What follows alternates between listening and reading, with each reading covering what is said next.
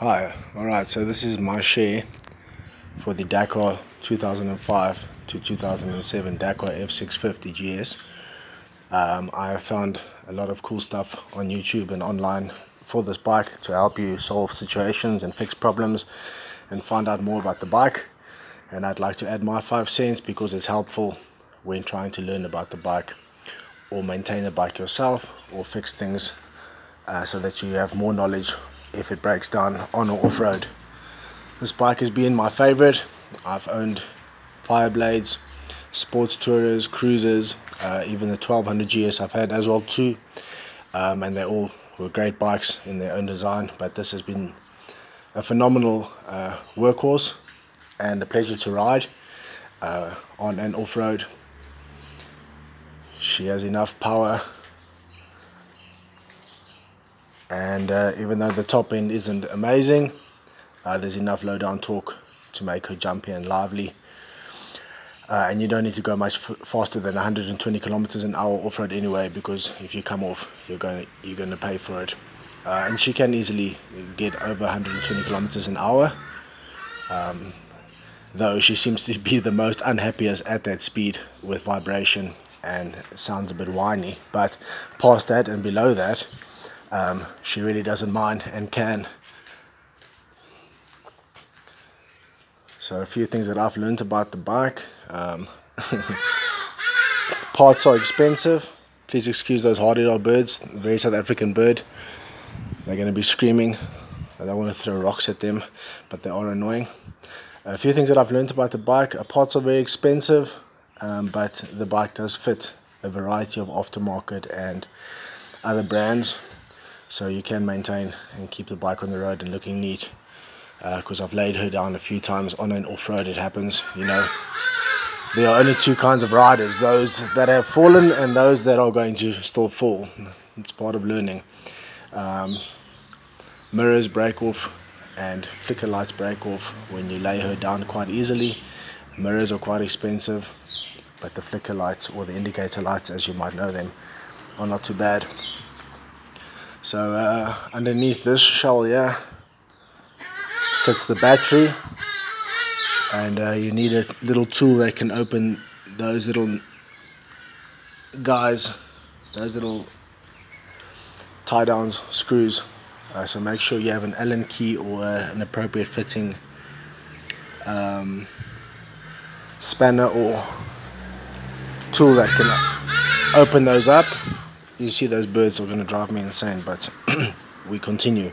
So I, I initially bought this little uh, set to work on an Opel Corsa way back in the day. Corsa is Vauxhall for the Australians. Uh, and uh, yeah normal Allen keys wouldn't work. You can see that it's got like a star a star instead of like um, square square um, octagon or uh, whatever the, the shape is uh, so you need something like that. Also, the Chinese and Indians make these little toolkits. I'm not going to open it up, but it's got a variety of little heads inside there and then a, a, a handle to work with. It's got like, I actually bought this to work on cell phones and tablets and laptops, and it's become very handy with um, bikes and cars with uh, fittings and trims and getting into places. Um, let's look a bit closer down here. Um, so I've just had the forks redone and cleaned and new seals. That's something you need to watch on this bike because it's got a lot of travel and it works quite hard on the bike. And uh, so you keep an eye on uh, rust and leaks. Um, but I've only done that once, had them replaced and cleaned and they were quite badly damaged and rusted because I, I was living at the coast. Um, and they're good as new now. You can put uh, socks around them, covers uh, made of um, um, wetsuit material, neoprene, whatever it's called. Uh, but uh, only if you're doing hectic off-road. Um, otherwise, what happens is you cover them and you forget to check them, and then you end up with a disaster. So if you're just doing uh, mostly on-road stuff, and then sometimes getting on a dirt road on the farm or um, uh, an, an alternate route along a, a dirt path, you're, you're, fine. Just keep them clean, wash the bike regularly. Um, here's here's where the oil goes in and uh, it's got a dipstick which is cool uh, to keep an eye on the oil. The oil is something you have to check on these models as well. I've also previously owned a regular F650, a 90 something model, and that was a single cylinder, and that also ate a bit of oil. Uh, was also a legend bike, easy to uh, fix, easy to adjust the timing. All you had to do on that bike was just uh, watch the oil, and then obviously once a year or every 10 or so thousand kilometers do a service for plugs and fluids and filters. Um, yeah, like everybody says, um, it doesn't have a, a, a fuel a fuel um, there's a little a little fuel light that comes on when you have about 50 miles left or 80 kilometers I found but it's not a big problem. Just always fill up when you have the opportunity especially if you're on the open road or traveling far. Whenever you have the opportunity just top up your bike and when the light comes on you know you've got about 80 kilometers of fuel left. Just decrease your speed conserve and you'll be fine. I mean you shouldn't be 100 kilometers away from anything without spare fuel anyway. So yeah. This um, this used to be attached around the back tire like this but when I wheelied the bike it broke off but it's also cool because um, those that know and that have been telling me says that uh, when you go off-road things get stuck in their logs and branches and stuff and it, it can throw you off your bike or break or damage your bike. Uh, there's a variety of back tires you can put on this bike from knobblies to 50-50s to on-road depending what you want to do with the bike where you're going with the bike. Um, uh, then um, this little guy here is uh, apparently it's a cylinder a, uh, a place where you uh, put nitrogen into the rear suspension which I've just recently had redone and rebuilt.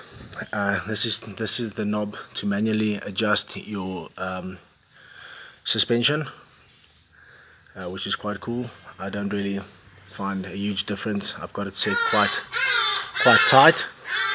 Uh, I haven't really had massive experience with discomfort. I've traveled for hours on this bike and I always only need to stop when I'm hungry, thirsty or need fuel. Even with a pillion, lovely back seat, uh, probably could have given this bike a wash before I did this video, but she's a worker and she, she she's in her environment. She likes to be um, working, and as you can see, she's standing in between tools and trailers and stuff. Because I'm going to give her a clean now. I just thought I'd do this video while I'm on it. Uh, fuel, obviously, yeah. She's got two uh, tailpipes on, uh, but one is a dummy. This one is just a dummy. I think it acts as part of the silencing system. So sometimes in the beginning I was freaking out because only one pipe was emitting stuff. Um, like I said, I've traveled on and off road. She's never let me down. Um, one time the brakes did catch at the back, they seized up. And I just loosened this valve here. And uh, the fluid came out and the brakes released and I took it into the shop and my friend Donnie from Randburg Motorcycles helped me sort it out. Previous to that, the guys in Durban from Tidal Motorcycles are also awesome guys to work through. If you're in South Africa, I'll give them a shout out. They do awesome work and really go the extra mile. My bike is looking a little bit worse for wear. wear. Uh, she's been standing for a long time as I was uh, caught up with the project for a year and she uh, had to stand. She got a bit of rust and all that and also I got knocked off by a bully, an old guy, in the traffic, and she sustained some damages, which has been a little bit of rust over time. But I'll, I'll clean her up and spray her as finances improve. but uh, she she's she's awesome. She does she does her job. She never lets me down. She never moans. Uh, she's uh, on and off road when you lay her down. Um, she's easy to pick up um, compared to the 1200 which is very heavy especially if you have, if you have panniers on and, and loads I have always tied boxes and tents and sleeping bags and bags just onto these with a nice bunch of ropes and ties and elastics and uh, never lost any equipment or had any problems um, yeah like I said she, she has a bit of cosmetic damage. Um, but but she likes she likes to work and she likes to be um, doing some adventurous stuff. Um, and I, lo I love her dearly. And when I can I do fix what I can. This is a nice little compartment to put some tools and stuff in. Um, tool bag. I also keep the the manuals here um, and papers for the bike in a plastic bag um, because there is some handy information inside there. You can also find a variety of cool stuff on the internet to print and keep on the bike for troubleshooting problems when you do get into situations. Let's just have a look at this what's inside here because I have some specific things inside here that, that are handy. Um, important to have an adjusting a small adjusting wrench a tiny little one for nuts and bolts around the bike that you might want to um, work on if you get stuck somewhere um, small pliers are handy. This came with the bike one of those um, Phillips and flat screwdrivers that you can change around if you haven't ever, ever seen that but hopefully you have if you're riding a Dakar. Some spanners this is part of a tie down for something I think it was for the bag actually. I've never used it for anything. It's a little pipe some fuses. Here's the little tool that I use to open up the um, sorry my dog wants to have me throw the ball now. Go yeah go go go. She just wants to play ball the whole time um, and then uh, some extra screws and fuses and um, cable ties. These are the things that are most handy. Uh, with these tools you can access anything inside the bike. Um, I just want to show you what else I learned. This is where the um, fuel filter is. And you just loosen the nuts take it out and uh, put put like a piece of plastic or paper underneath there and lean the bike towards me obviously and then the, the, the, fluid will come out. And you put the piece of plastic or paper there to guide the fuel over the, the engine so you don't make a mess of it obviously. I already mentioned this. This over here this over here is part of the back brakes. It regulates the, the brake fluid in and out of the brakes. I recently had a problem where the fluid wasn't releasing and it was because of a little bit of dirt that was inside this guy and uh, I had to take it in and have it cleaned.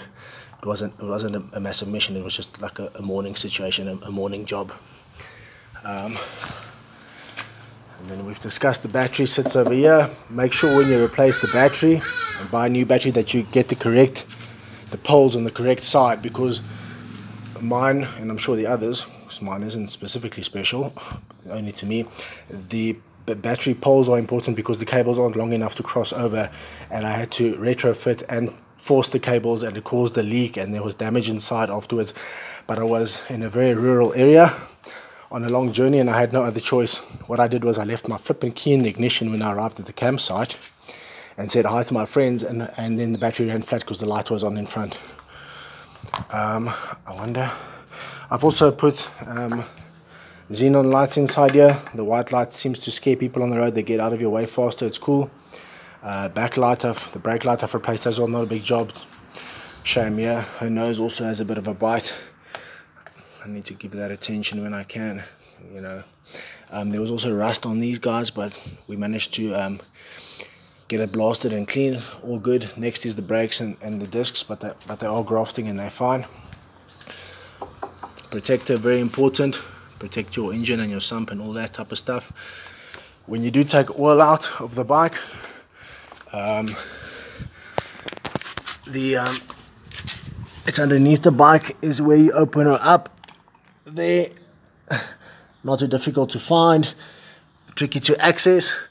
You can also take off this um, um fairing and access the um, oil tank which is obviously underneath this uh, where you pour it in, the, the inlet or the, the, the, opening, the mouth. It sits underneath and back in. You can take this fairing off and open it up and bleed it out, but then you don't get the oil out of the system, which is why you need to access the bottom. Some guys have plates underneath their bikes and they drill an access, an access hole to get mad dog to, to, to get to it. Um, this the seat you loosen by pulling on that red lever inside your boot and the seat will pop up and open and you can access uh, what's inside there. There's not much inside there. You're just going to get to the engine. It's not, not a battery or a, a fuel tank or anything. The fuel tank sits on this side and underneath the seat. That's general knowledge. Mine doesn't have heated grips. You can get heated grips. Um, and um, hazards are over here. Um, and yeah uh, I've also had these back these are aftermarket pegs because BMW are quite expensive and I'm not in that market right now. But I am maintaining my baby. I've also seen guys take off these um, double pipes and put different variety of pipes on to get different performance and sounds and feels for the bike. So that's something you can do as well. And um, I feel like I've covered everything that I know uh, for the sake of adding value to the community and uh, I'll post this in a little while after I've washed her and cleaned her.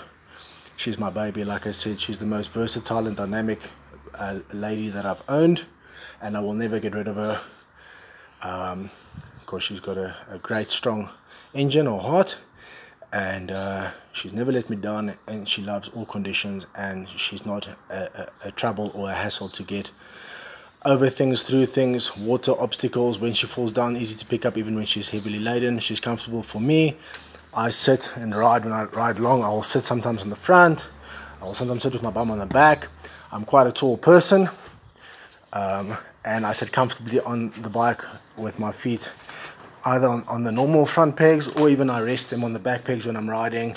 So all the variety of different riding positions that I can sit in to adjust my comfort or discomfort levels. I'm not ever uncomfortable on this bike ever. I've never been uncomfortable even with a pillion and luggage and I had a tent and a, a hiking bag on my lap once fully fully laden and she she drove a few thousand kilometers along the east coast of South Africa um, stopping on an off-road no problems no moans um, yeah just like I said I'd like to give her a little bit of attention with the rust and the cosmetic damage that she has incurred but we're getting there. She was in much worse condition two months ago and and, and, uh, and with a good wash and a nice service and some uh, blasting cleaning uh, has, has done her the world of good and she's back on the road and she's she's loving it and I'm loving it.